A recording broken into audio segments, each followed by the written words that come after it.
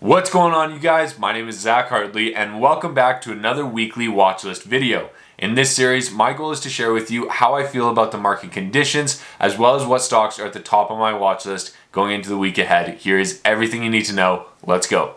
Okay, so to look at the market conditions, I like to look at the NASDAQ, the S&P 500, and the Dow Jones. And in the NASDAQ, we have had a beautiful recovery this week. We bounced off of support right around 14,200. We've had a nice recovery back above our 20 and 50-day moving averages. When you look at the S&P 500, it's very much the same story. We are back above our 20 and 50-day moving averages. And when you look at the Dow Jones, we are actually now testing our all-time highs. So on Monday, Tuesday, we could very easily see the Dow Jones set all-time highs. And it's the exact same thing in Bitcoin. As you can see here, when I took this snapshot, Bitcoin was trading at around 62,000. I think it's currently trading around 60,000, 61,000 right now. But we are above 60,000 and we are within basically spinning distance of our all-time highs. We could very easily see a breakout of Bitcoin all-time highs this week. So things are going very well. I have added to my crypto portfolio. I have diversified my crypto portfolio and I'm pretty bullish on crypto at the moment. I have 50% of my portfolio in Bitcoin and about one third of the remainder in Ethereum, Cardano, and Solana, basically evenly split.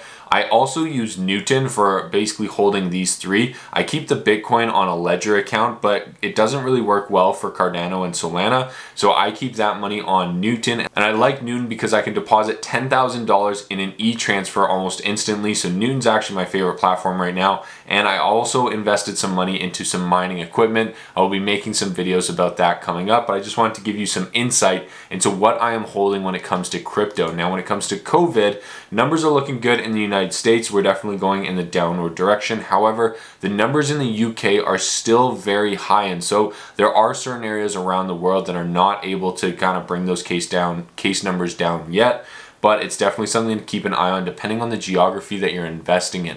Most of my stuff is in North America. As of right now, the direction is going in the downward direction right now.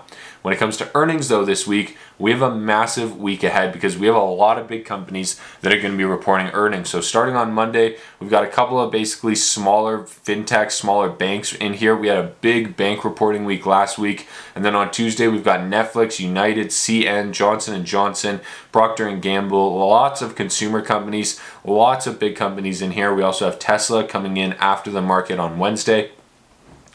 And then on Thursday, we have Snapchat, and on Friday, we have American Express. Honeywell, and a bunch of other companies in here. So it's going to be a very busy earnings week. There's a lot coming down the pipeline. There's a lot to be excited about this week. And one of the companies that I'm very excited about is Hut 8 Mining because they are a Bitcoin mining company. They have a lot of infrastructure, a lot of Bitcoin equipment, and they are about to set some all-time highs. This stock is looking really, really good. This is the Canadian version of it. And as you can see on Friday, we had some dramatic volume. We had a major breakout of previous resistance, and this stock is doing extremely well right now. And if you want to learn a little bit more about Hut 8 mining, I actually went and toured a facility here in Alberta. That is where they operate, and it was really cool to see. So if you want to see how they mine Bitcoin, definitely check out that video. It is on my channel. The next company I'm very excited about is Gold Mountain. I actually added to my position in Gold Mountain this week because I am expecting them to get a mining permit at least some point in the next basically two weeks to one month.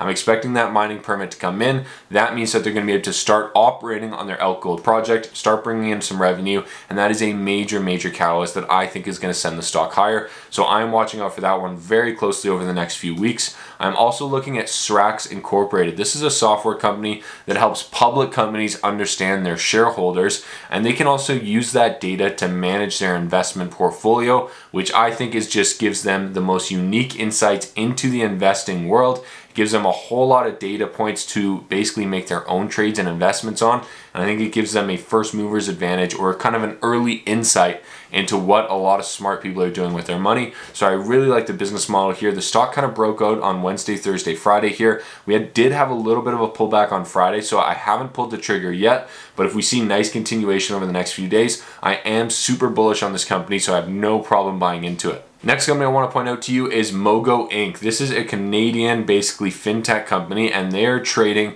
at, they fell from $15 all the way down to $5. That acted as previous support back here in February. We have now bounced off $5. We've broken through our moving averages and we are now testing our trend line that was established back in May. If you look at our indicators, we've got some pretty positive indications. And if we can break through this trend line, break through our 200 day moving average, a little bit more volume, that would kind of be the stars aligning when it aligning when it comes to technical analysis. And that would just be a great opportunity. So I'm going to be watching this one very closely on Monday. I am also watching Well Health come Monday, Tuesday because this company has traded along this $7 level several times right here in December, January of 2021, right here in June of 2021, and again right here in October of 2021. It continues to bounce off this $7 level, and the company has even raised institutional money at I believe around eight to eight dollars, eight fifty. So I'm really excited about this opportunity because I think you can buy in at a discount. I think it's a good company. I've talked to the CEO. It's a well-managed company, and if this seven dollar level of support holds, then I think this is a great entry point.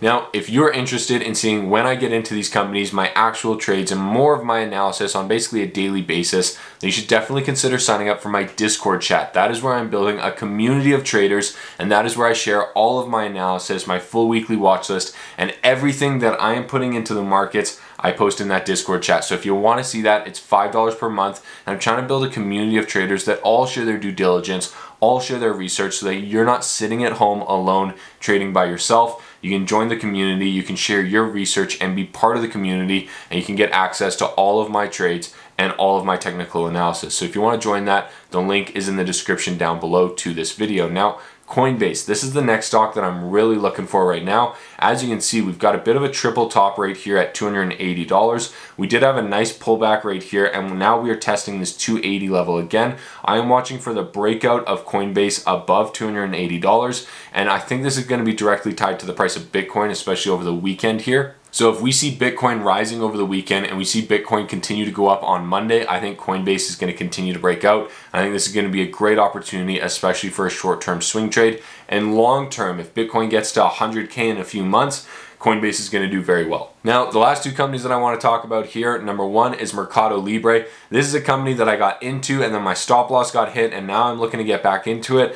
1479 was previous support. We just came down and we tested this exact same level. We've had three days of rising prices. We're about to cross through our 200 day moving average. Our MACD is literally on the brink of crossing over and our RSI just exited the oversold zone. This is kind of like the stars aligning right now when it comes to technical analysis and I am I am holding back my urge to buy Mercado Libre in the pre-market. I'm to see how Monday, Tuesday go, and then I'm probably to buy back into Mercado Libre. I really like the company. This is kind of like the Amazon of South America, and they're growing extremely, extremely fast. And the last trade that I want to share with you guys is definitely the most risky trade on this entire watch list, but I had to point it out to you because just recently, basically last week, this stock ran from 50 cents up to 80 cents. It is up more than 100% in the last basically month and it is on it is on an absolute tear. This is United Lithium. It's trading at 40 cents. It's currently trading at 88 cents. The everything is going in the upwards direction. The volume is increasing